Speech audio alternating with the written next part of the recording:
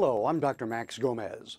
If you've been listening to the news, you've probably heard an awful lot about stem cells, the ethical and moral issues surrounding them, as well as their future potential for curing disease. But did you know that stem cells are actually being used right now to treat some of today's leading killers without any of the moral and ethical controversy? They're adult stem cells. In the next few minutes, I'll explain how it all works and how you can protect your health today with stem cells. First, though, listen to these remarkable stories from people who say they're alive thanks to stem cells. They hooked up an EKG and I died. I had a cardiac arrest. 10 hours and six bypasses later, Bernie's heart refused to restart. In about 20 minutes, a doctor came out and said, his heart started. Then there's Michael Carlotta.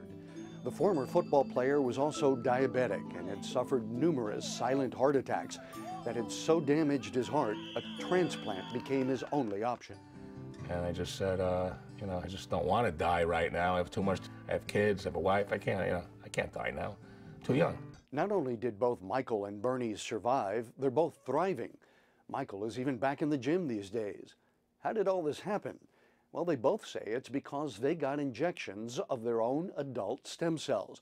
But to really understand how this remarkable recovery took place, we need a short lesson in stem cells, especially to explain the difference between adult and embryonic stem cells. Stem cells are what scientists call certain cells that can transform into any type of cell or tissue in the body.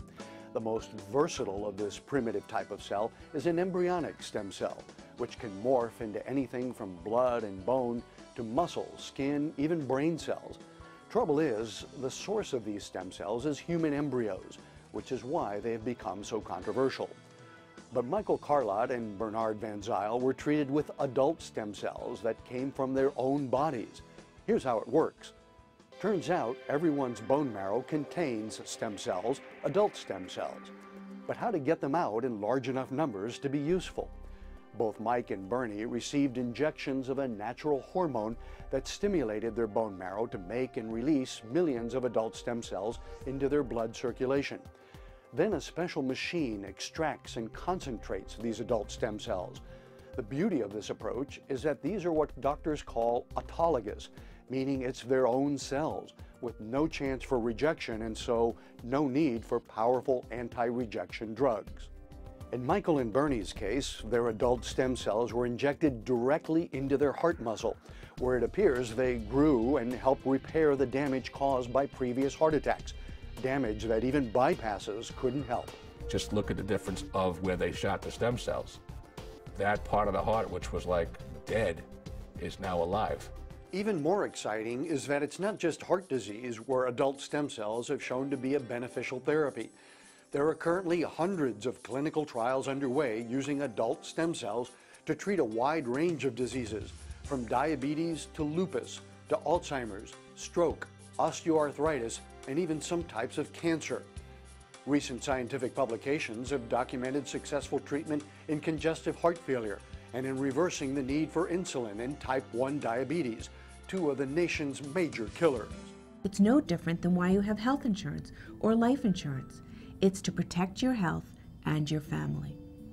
By collecting and storing your stem cells today, you will have them for the future. They're your cells for your use. Think of it as a different kind of insurance, a bioinsurance. Not only will these cells be able to be used for what we now consider inevitable processes of aging that we treat with medicines, but we will be treating them with our own cells if we take the opportunity to store them now. Dr. Vincent Giampapa is the medical director of the Giampapa Institute in Montclair, New Jersey, and the co-founder of the American Academy of Anti-Aging Medicine. He believes in the potential of adult stem cells so strongly that he's collected and banked his own stem cells with NeoStem, as well as opened a center for stem cell collection. Dr. Giampapa believes that the sooner you bank your stem cells, the healthier and more useful they'll be for the many things that stem cells will be able to do in the near future, from facial rejuvenation to treating diseases from arthritis and cancer to heart disease and diabetes. The secret here is to, is to try to harvest and keep your cells in storage freeze a part of yourself in time so that you can take advantage of these new technologies and research as it develops.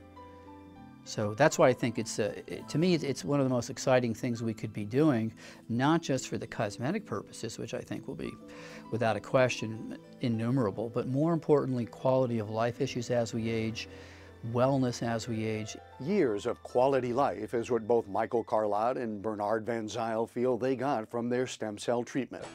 You know, going from having uh, walking eight steps to going, let's say, a mile and a half on a treadmill, you feel like Superman. And uh, I didn't think I'd be able to feel that way. And now I have remarkable stamina.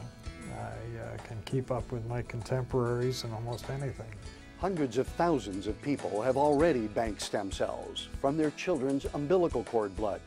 This is an opportunity for everyone to bank stem cells, an insurance policy that could just pay off in protection against disease or perhaps in rejuvenation as research reveals the potential locked inside our very own cells. For more information on how you can take advantage of the NeoStem process, log on to the giampapainstitute.com or call an enrollment specialist at 973 746 3535. For Dr. Giampapa and NeoStem, I'm Dr. Max Gomez.